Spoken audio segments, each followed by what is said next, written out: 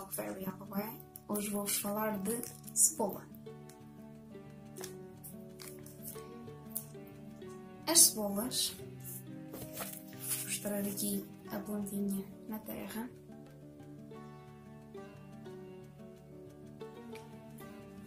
Eh, as cebolas são bastante versáteis. Hum, cruas, assadas, cozidas, em sumo, em xarope, dão para muitas coisas e para uh, preparar de várias formas.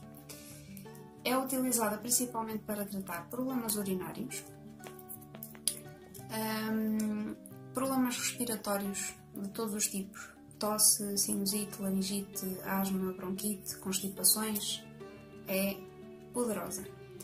É depurativa, baixa os níveis da glicemia, portanto é boa para diabéticos.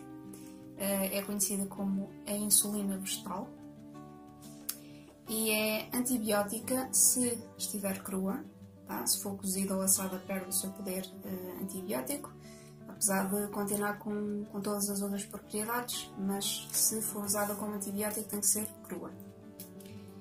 Um, é boa para soltar expectoração, é boa também para problemas com tensão alta, eh, é diurética, desfaz coágulos sanguíneos, portanto é bom para pessoas com, com tendência a, tromboses ou quem já tenha tido tromboses.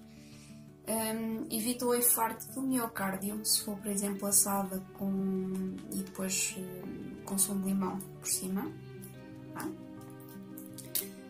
Um, para uso externo, é utilizada também para problemas de pele, como feridas, queimaduras, tumores, uh, para hemorragias, algumas hemorragias mais ligeiras é bom para estancar. Um, é, é, um alimento, um, pode ser usado em tudo e mais alguma coisa, no entanto, se for utilizada crua, é raro acontecer, mas há pessoas que não lidam bem com a cebola porque o estômago é um pouco mais sensível. Então vocês têm que ir vendo se podem consumir crua ou não.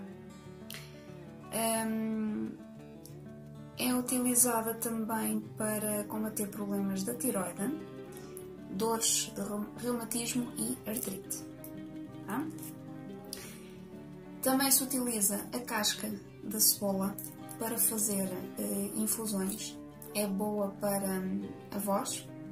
Uh, os cantores costumam usar casca da cebola para limpar as cordas vocais. Um, e é utilizada esta infusão também para escurecer o cabelo. Ah, para quem não quer usar químicos no cabelo, infusão de casca de cebola. Antigamente, um, nos quartos de pessoas doentes, com constipações e pneumonias e coisas assim, um, cortava-se uma cebola ao meio e colocava-se dentro do quarto na mesa de cabeceira próxima ao paciente.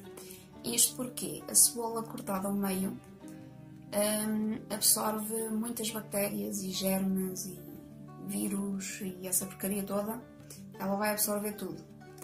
Um, por isso é que há muita gente que diz que não convém cortar uma cebola e deixá-la depois no frigorífico ou mesmo cá fora e consumir a seguir.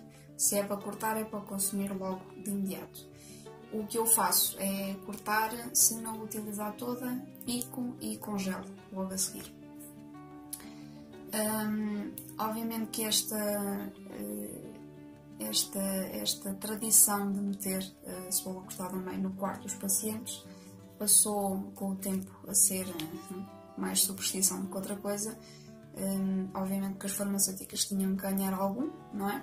E então as cebolas passaram a ser um mito eh, na cura de, eh, das doenças respiratórias. Felizmente que hoje em dia já se vai recuperando eh, esta informação e ela é utilizada então, como eu vos tinha dito ao início, principalmente para problemas urinários e respiratórios. Tá? Quem toma anticoagulantes, como por exemplo a aspirina, não deve consumir cebola em grandes quantidades, principalmente crua vai fazer exatamente o mesmo efeito dos anticoagulantes e uh, é a mesma coisa que estar a tomar uh, uma dose do anticoagulante a dobrar pode provocar hemorragias muito graves. Tá? Tenham cuidado, por favor, Mais uma vez, não subestimem os poderes das plantas. E este foi o vídeo sobre a cebola. Espero que tenha sido útil. Mais uma vez, passem informação aos vossos amigos e aos vossos entes queridos. E vamos lá a comer cebolas. Eu sei que o hálito não fica grande coisa a seguir, mas pela saúde vale a pena. E até ao próximo vídeo.